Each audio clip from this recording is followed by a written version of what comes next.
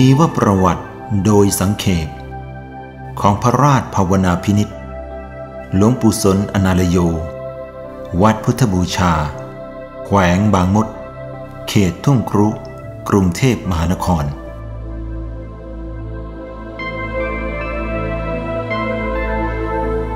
พระราชภาวนาพินิษหลวงปู่สนอนาลโย ได้เล่าชีวประวัติของท่านเอาไว้ว่า ชาติกำเนิด เดิมเรามีนามว่าสุเต นามสกุลคำมั่น เกิดที่บ้านโนนชาติ ตำบลคำไผ่อำเภอเลิงนกทา จังหวัดยะโสธร เกิดเมื่อวันอาทิตย์ที่ 27 พฤษภาคม พุทธศักราช 2477 เวลา 9 นาฬิกา 30 นาที ตรงกับขึ้น 14 ข้ามเดือน 7 ปีจอ บิดาชื่อเป มารดาชื่อกัน นามสกุลคำมั่นหลวงปู่สนท่านเป็นบุตรคนที่สอง และเป็นผู้ชายเพียงคนเดียวในพี่น้องหกคน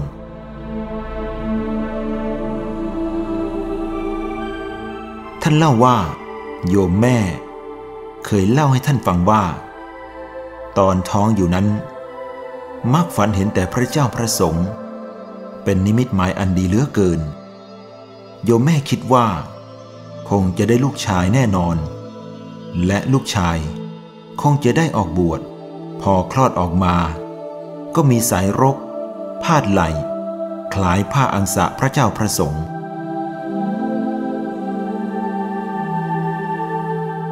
เดิมเราชื่อสุเต ตอนเป็นเด็ก เวลาผู้ใหญ่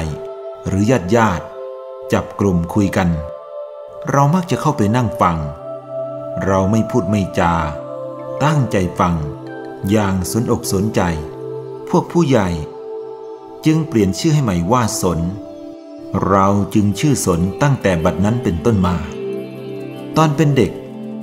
ชอบเล่นเป็นพระ แสดงบทเป็นพระ เอาขันกะลามะพร้าว มาทำเป็นบาท เอาผ้าแพร ผ้าเขาม้า มาพันตัวเป็นจีวร พวกเด็กๆด้วยกัน นั่งพนมมือ เล่นตักบาตรรู้สึกว่ามีความสุขมาก แม่มาเห็นเข้า ก็ดูลั่นเลยว่ามึงนี่ไปหาหล่อเลี่ยนพระเจ้าพระสงฆ์อย่ามาหาเห็ดแนวนี่จักเทีย มันสีบาปหูจักบอ ตั้งแต่นั้นมา เราก็ไม่ทำอีกเลย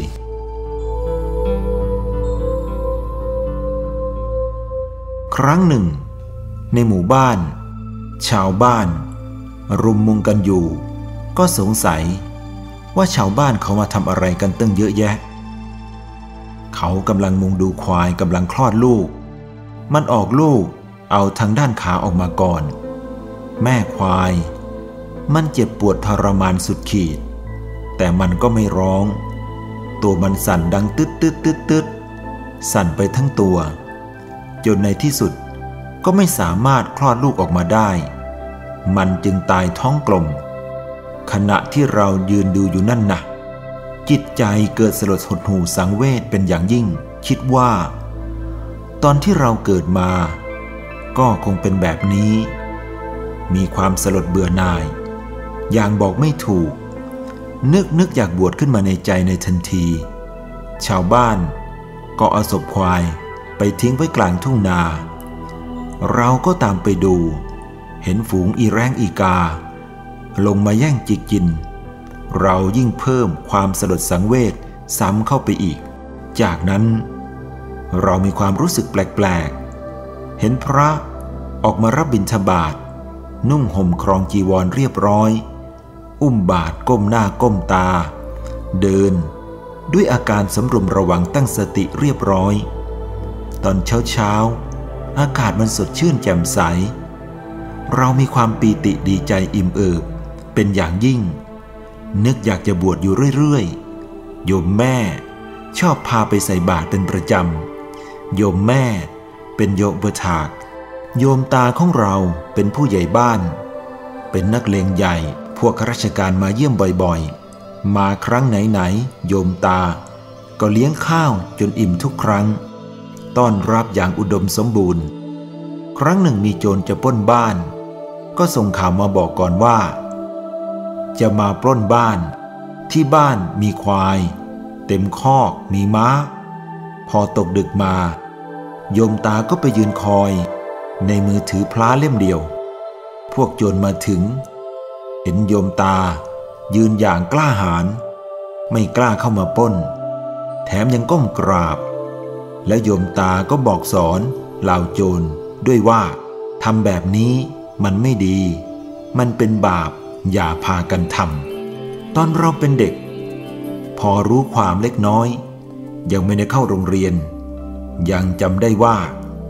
เคยขอพ่อแม่ไปอยู่วัด แต่ท่านทั้งสองก็ไม่ยอม ตอนนั้นอายุเพียงสี่ห้าขวบเท่านั้น พ่อแม่เล่าให้ฟังว่า พระท่าน ไม่ทำบาป ไม่ทำกรรม ไม่เสพกาม ไม่มีลูกมีเมีย ก็คิดว่า ถ้าไม่ทำบาปทำกรรม ก็คงจะดี เราไม่อยากทำบาปทำกรรม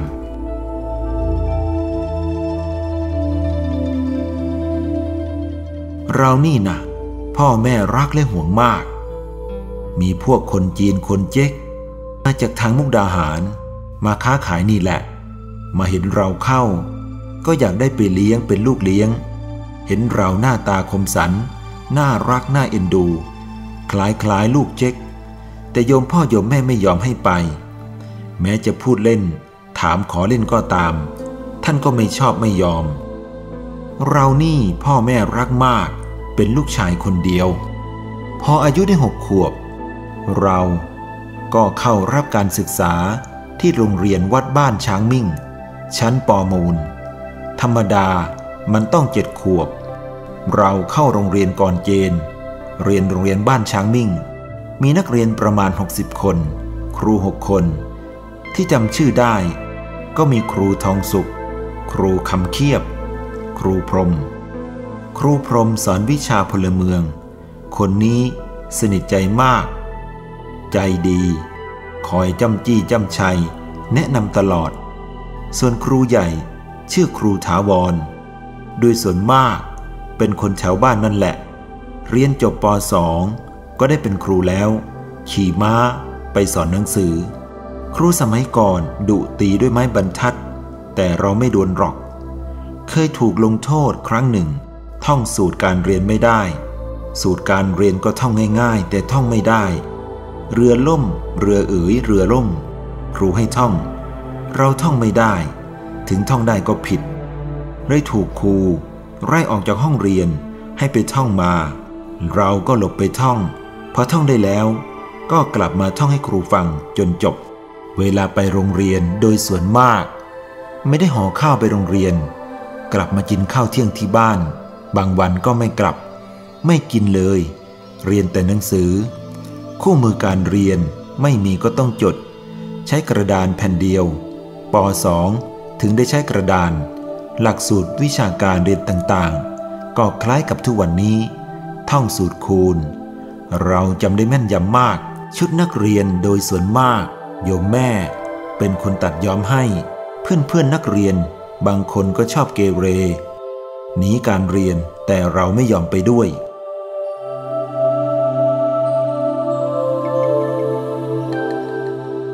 ในวันหยุดเสาร์อาทิตย์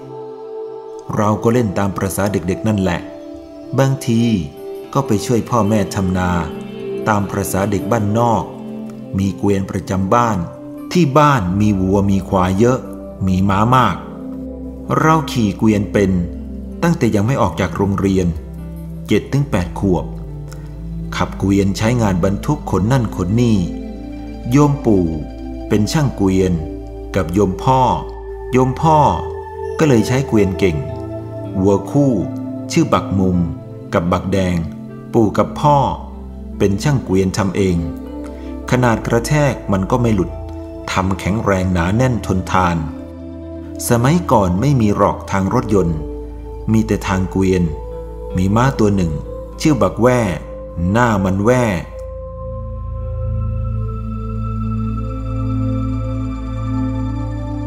ในขณะเรียนอยู่ชั้นป .3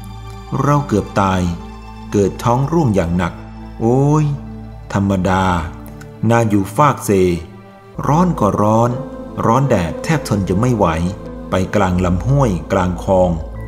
เราอ่อนแรง ปีนขึ้นหลังควาย หมอบอยู่บนหลังควาย กลับมาบ้านตัวร้อนจีนะเห็นสภาพเช่นนั้น แล้วก็ร้องว้ายวาย อุ้มลงจากหลังควาย เราเป็นอะไรก็ไม่รู้ ไปกินอะไรมาก็ไม่รู้ ท้องร่วงอย่างหนัก จนตัวผอม ไม่ได้ไปโรงเรียน สมัยนั้นไม่มีหมอ มีแต่หมอชาวบ้านรักษากันเอง หมู่บ้านกับตัวเมือง คือตัวอำเภอ ห่างกัน 70 กว่ากิโล มันไม่น่ารอด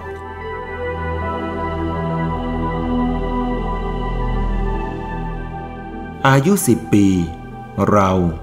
เริ่มจากสาร พวกกระติบข้าว พวกข้อง ฉลอม พ่อ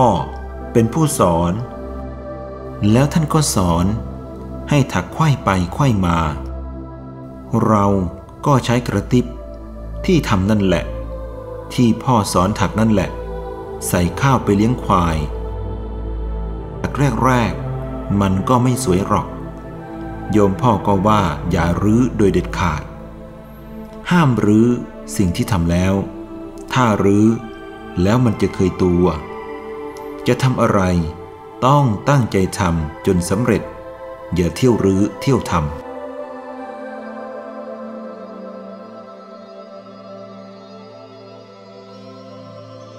ขณะนั้นพี่สาวเชิญไปเจ็บหม่อน บอกพี่สาวไปว่า มึงเป็นเอื่อย มึงก็ไปเอง อีแม่ใส่มึง มึงอย่าสีมาใส่ต่อเด้อ แม่ได้ยินคำนั้นแหละ เดินตรงเข้ามา ตบกบหูเราอย่างจัง เราก็โมโห ยืนร้องไห้อยู่ตรงนั้นไม่ยอมหนีไปไหน แล้วก็ร้องลั่นว่า ตีให้ตายโลด ขายมันตายโลด ไปเอาสากม่องพุ่นนะมาตี เอาจนค่อยตายข้ามอง เราเสียใจข้าวก็ไม่ยอมกิน ยืนร้องไห้โวยวาย สลับกับเสียงสะอึกสะอื้น ชาวบ้าน เขาบอกให้วิ่งหนี ก็ไม่ยอมหนีหนำซ้ำยังไปทุบที่ฝาบ้าน บอกให้แม่มาฆ่าตัวเอง ตะโกนกู่ ไม่อยากอยู่แล้ว ไม่อยากอยู่บ้านแล้ว อยากจะหนีไปบวช พอตกตอนดึก ดึกสงัดในวันนั้น เขานอนกันหมดแล้ว เราจึงค่อยๆ แอบเข้าไปนอน จากเหตุการณ์ในครั้งนั้นทำให้โยมพ่อโยมแม่ ไม่กล้าตีเราอีกเลย ท่านคงคิดได้ ถ้าทำผิด ท่านก็แค่บอกแค่สอนเท่านั้น เราไถนาเป็นตั้งแต่ยังเป็นเด็กๆ เราบอกโยมน้าว่า อยากไถนา โยมน้าก็สอนวิชาไถนา เอาควายมาเทียมไถ งอนไถมันสูง ท่วมหัวเรานุ่นนะเราพยายามฝึกหัด ก็เป็นขึ้นมาเรื่อยๆ จากนั้นก็ไถได้เต็มที่ สามารถควบคุมบังคับควายให้ไถนาได้ ออกโรงเรียนก็พอดี ไถนาเก่ง ฤดูเกี่ยวข้าวฟาดข้าว หรือดำนาในสมัยนั้น ไม่ได้ว่าจ้างกันหรอก มีแค่ส่งข่าวบอกข่าว มาช่วยกันลงแขก ช่วยเหลือซึ่งกันและกัน บ้านเรามีนาประมาณหนึ่งร้อยไร่หลอมข้าวนี้เป็นกองกอง กองอารมณ์กันไว้ แล้วค่อยตีครั้งเดียว ลานทำด้วยขี้ควาย เอามาลาดเทพื้น เอาขี้ควายล้วนๆ ไม่ต้องมีส่วนผสม พอมันแข็งจับตัวมันก็ไม่แตก ปีต่อไปก็เอาใหม่ทำใหม่ พอฝนตกมา มันก็แตก ไม่ได้ใช้กระสอบ เอาใส่กระเชอ ขึ้นเกวียน ไปใส่ยุ้งฉาง พอพวกพ่อค้ามารับซื้อ จึงค่อยใส่ในกระสอบ ขึ้นตาช่าง สมัยนั้น 12 กิโลเป็นหนึ่งหมื่นหมื่นละ 20 บาท ปีไหนได้บาท ก็ถือว่าได้ราคาสูงแล้ว พ่อค้า เขามารับซื้อ ถึงบ้าน พอขายข้าว โยมพ่อโยมแม่ก็แบ่งเงินให้ใช้นิดหน่อย พอได้เงินก็พอมีกำลังใจขึ้นมาบ้าง